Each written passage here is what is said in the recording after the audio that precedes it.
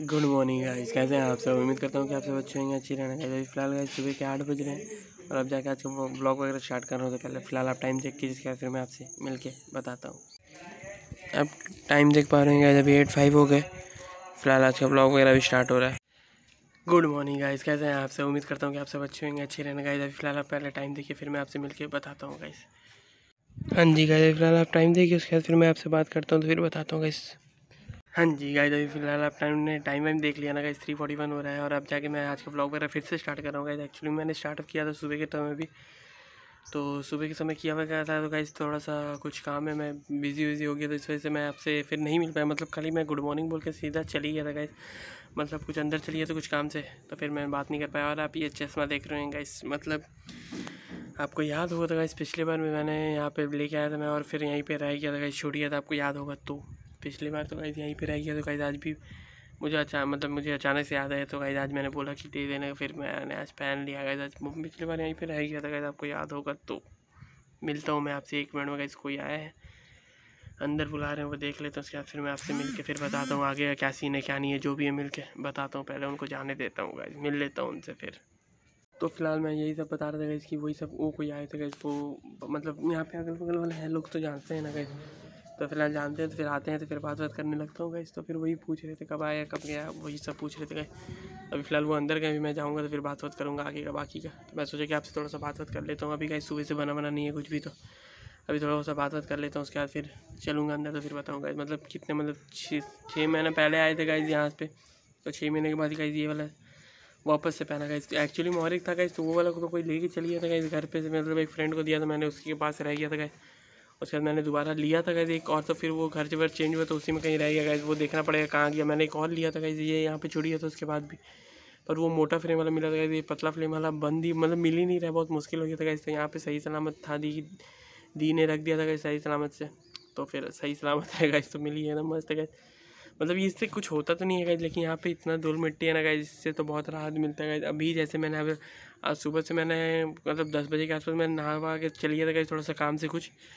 मैंने जैसे बताया ना आपको कि कुछ कुछ काम से आया था मैं तो एक काम हो गया गैस एक काम के इलाज किया था, पर वो हो नहीं पाया गैस एक्चुअली में उसको कल जाना होगा लेने।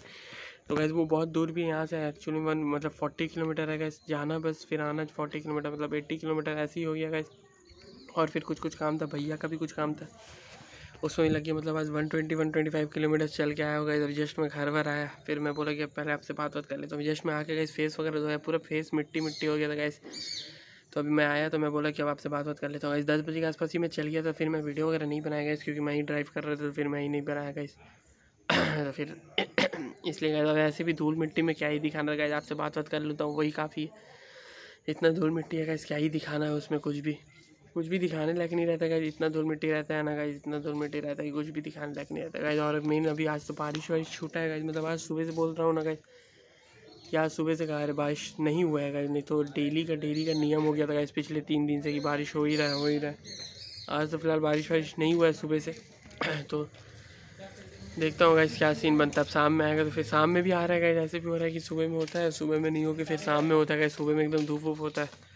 उसके बाद फिर गाइस बारिश वारिश होता है तो फिर जो भी होता है, जो भी होता है उसके कारण भी मैं कल भी आपसे नहीं मिल पाया।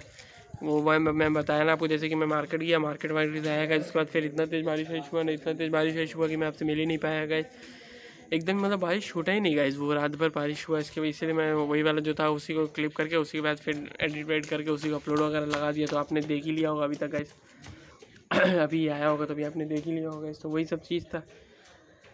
तो इसलिए मैं आपसे नहीं मिल पाया था गाइस अभी भी बाल देख पा रहे हैं गाइस मतलब बाल तो पूरा मतलब लग रहा है बालू बालू है, सोच रहा हूँ कि फिर से नहा लूँ गाइस तो ट्राई कर, देखता हूँ गाइस अगर नहाने का हुआ तो फिर से नहावा लूँगा।